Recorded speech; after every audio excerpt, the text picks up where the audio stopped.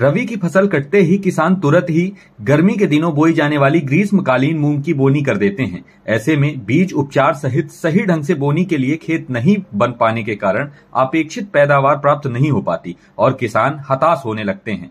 तो आइए कृषि सलाहकार से ही जानते हैं कि ग्रीष्मकालीन मूंग की खेती में कौन सी सावधानियाँ बरतें ताकि आप अच्छी फ़सल तैयार कर बेहतर उत्पादन ले सकें।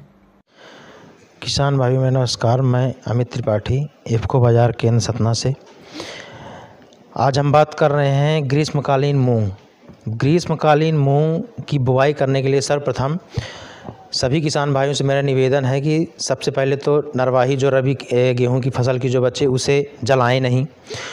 उसे बायोडिकम्पोजर की एक छोटी सी डिब्बी आप इफ़को केंद्र से जा कर के ले करके और बायोडिकम्पोजर तैयार करके उसका छिड़काव करके उसे गला दें खेत में और गहरी जुताई करके रोटावेटर मिट्टी पलट हल से उसे पूरे खेत में फैला दें, जिससे कि वह, जिससे कि वह मिट्टी की उर्वरा शक्ति को बढ़ाने में सहायक हो जाएगी। दूसरा, आप ग्रीष्मकालीन मूंग को बोने के लिए हाइब्रिड बीजों का प्रयोग करें। हाइब्रिड बीज अत्यधिक तापमान सहने की क्षमता वाले होते हैं। दूसरा, कम पानी की आवश्यकता होती है। तीसरा, उत्पादन अधिक देते हैं।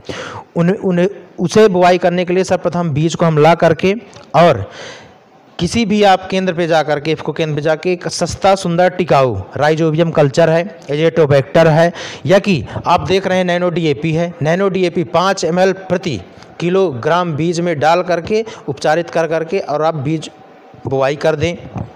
उस बुआई करने के बाद आप अगर देख लें कि मिट्टी में दीमक है, कीड़े हैं तो आप पिप्रोनिल कार्टाफ हाइड्रोक्साइड यह पाँच किलो प्रति एकड़ की दर से आप इसका मिट्टी मिला करके छिड़काव कर दें, जिससे दीमक दीमक से आपको सहूलियत मिल जाएगी।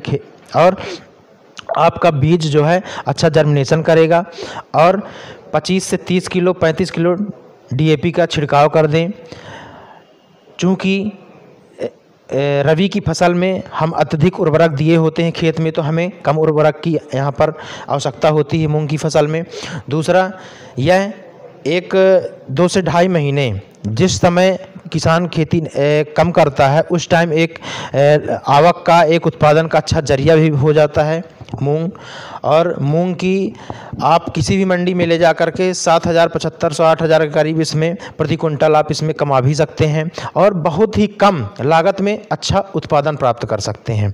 हाइब्रिड बीजों का इस्तेमाल करें। हाइब्रिड बीजें 25 से डिग्री से 40 डिग्री तक टेम्परेचर सहन करने की इनमें क्षमता होती है और 10 किलो प्रति एकड़ की दर से बुवाई के टाइम पे हम सागरिका का इस्तेमाल करें चूँकि सागरिका में सोलह पोषक तत्व, सूक्ष्म मात्रा पे उपस्थित होते हैं।